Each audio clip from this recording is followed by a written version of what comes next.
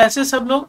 तो आज हम जानने वाले हैं कि what is the correct sequence of class twelve chemistry topics जो बच्चे जेई और नीट की तैयारी कर रहे हैं, उनके लिए बहुत काम का टॉपिक है, बहुत काम का लेक्चर होने वाला है।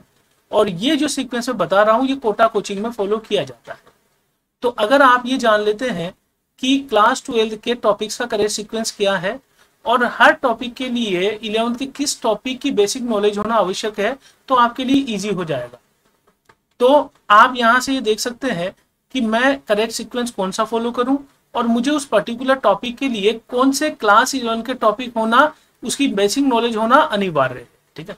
तो आगे बढ़ते हैं हम। तो सबसे पहले जो मैं क्लास इलेवंथ के जो सीक्वेंस में बता रहा हूँ, इसमें हम लेते हैं एक्चुअली फ़िज़िकल केमिस्ट्री के टॉपिक्स ठीक है?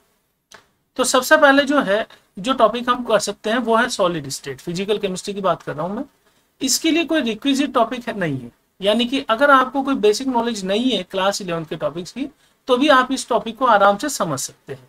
एक छोटी मोटी मूल कंसेप्ट की नॉलेज हो तो वो क्वेश्चन करने में आपको मदद करेगी। बाकी और किसी टॉपिक की यहाँ पे आपको आवश्यकता नहीं है।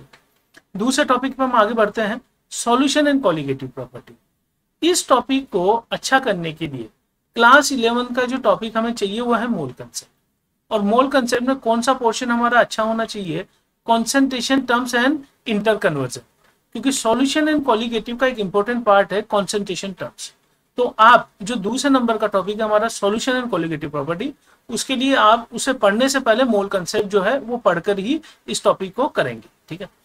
तीसरा टॉपिक है हमारा सरफेस केमिस्ट्री जिसके लिए कोई बेसिक नॉलेज आपको चाहिए नहीं क्लास इलेवन के किसी टॉपिक की नॉलेज आपको चाहिए नहीं। इसके बाद हम आते हैं चौथे नंबर के टॉपिक पे, वो है केमिकल काइनेटिक्स ठीक है? केमिकल काइनेटिक्स अच्छा करने के लिए, ठीक है? तो एक बेसिक नॉलेज आपको केमिकल इक्विलिब्रियम की हो तो ठीक है। अदरवाइज़ कोई बहुत ज़्यादा इसका यूज़ होगा नहीं यहाँ पे। बाकी एक मैथमेटिक्स का पोर्शन है इंटीग्रेशन तो इंटीग्रेशन की बेसिक नॉलेज आपको होना आवश्यक है, क्योंकि इसमें केमिकल काइनेटिक्स चैप्टर में इंटीग्रेशन बहुत डिटेल तक होता है, ठीक है? तो ये अगर आपका इंटीग्रेशन सही पार्ट है, सही अगर आपको कमांड है तो केमिकल काइनेटिक्स पे आप हाथ डालें, ठीक है? इसके बाद अगला चैप्टर जो है हमारा इलेक्ट्रोकेमिस्ट्री इलेक्ट्रोकेमिस्ट्री में हमें आइनिक इक्विलिब्रियम और थर्मोडायनामिक्स चैप्टर की नॉलेज होना आवश्यक है, जो कि क्लास इलेवन के टॉपिक है। ठीक है तो यहाँ पर इस पहले कॉलम में मैं टॉपिक का नाम लिख रहा हूँ, दूसरे कॉलम में मैं सेक्शन और तीसरे कॉलम में मैं यहाँ लिख रहा हूँ रिक्विजिट टॉपिक्स कौन कौन से हैं, जो कि क्लास इलेवन के आपके अच्छे होने चाहिए। ठीक अब हम आ जाते हैं फ़िज़िकल केमिस्ट्री के बाद। तो आपको ये जान चुके हैं कि लास्ट टॉपिक हमारा फ़िज़िकल केमिस्ट्री का इलेक्ट्रोकेमिस्ट्री है। जिसके लिए मैं आयनिक इक्विलिब्रियम और थर्मोडायनामिक्स की नॉलेज होना आवश्यक है। अब आते हैं हम इनऑर्गेनिक केमिस्ट्री में। बहुत इंपॉर्टेंट चैप्टर है आपका कोऑर्डिनेशन कंपाउंड कोऑर्डिनेशन कंपाउंड से हर बार आपको क्वेश्चन मिल जाएँगे और ज़्यादा क्वेश्चन मिलेंगे ठीक? तो कोऑर्डिनेशन कंपाउंड में कह सकता हूँ कि क्लास ट्वेल्थ इनऑर्गेनिक का सबसे इंपॉर्टेंट चैप्टर ठीक है? जैसे जे, अगर मैं ऊपर जाऊँ इधर तो फ़िज़िकल केमिस्ट्री में सबसे इंपॉर्टेंट चैप्टर आपका यहाँ पर आप केमिकल काइनेटिक्स को भी बोल सकते हैं या इलेक्ट्रोकेमिस्ट्री को भी बोल सकते हैं। फ़िज़िकल केमिस्ट्री की बात कर रहा हूँ। इनऑर्गेनिक केमिस्ट्री में सबसे इंपॉर्टेंट चैप्टर आपका कोऑर्डिनेशन कंपाउंड है। इसे करने से पहले आपको बेसिक नॉलेज एक तो केमिकल बॉन्डिंग की होनी चाहिए और एक आइसोमेरिज्म की नॉलेज होनी चाहिए। केमिकल बॉन्डिंग जो है, उसका वो पोर्शन जिसमें आपको हाइब्रिडाइजेशन और स्ट्रक्चर शेप के बारे में बताया जाता है, वो चीज़ आपको कंडीशन कंपाउंड में यूज़ होने वाली है। उसके अलावा आपको ऑर्गेनिक में आइसोमेरिज्म डिटेल में पढ़ाया जाता है स्ट्रक्चर और स्टीरियो उसका यूज़ यहाँ पर कोऑर्डिनेशन कंपाउंड में थोड़ा बहुत होगा। ठीक है, बहुत ज़्यादा यूज़ नहीं होगा थोड़ा बहुत नॉलेज आपको होना आवश्यक है, पर ज़्यादा नॉलेज आप केमिकल बॉन्डिंग की रखेंगे तो आपको कोऑर्डिनेशन कंपाउंड में हेल्प हो जाएगी। दूसरा चैप्टर है हमारा मेटलर्जी मेटलर्जी जो है, इसमें आपको थोड़ा बहुत पोर्शन इलेक्ट्रोकेमिस्ट्री का, क्योंकि इलेक्ट्रोकेमिस्ट्री में जब आप जाएँगे ना तो वहाँ पर आपको जो है इलेक्ट्रोलाइसिस और इलेक्ट्रोलाइटिक सेल के बारे में बताया जाएगा। वो चीज़ जो है मेटलर्जी का एक पार्ट है प्योरिफिकेशन का।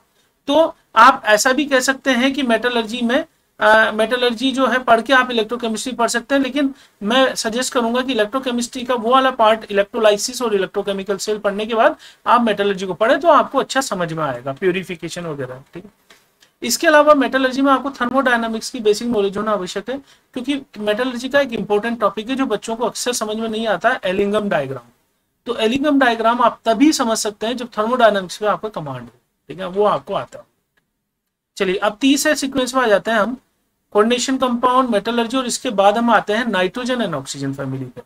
नाइट्रोजन और ऑक्सीजन फैमिली के लिए आपको जितने भी जो ब्लॉक्स आते P block D block S block आते हैं, इनमें दो टॉपिक आपके मस्ट है इलेवंथ क्लास के।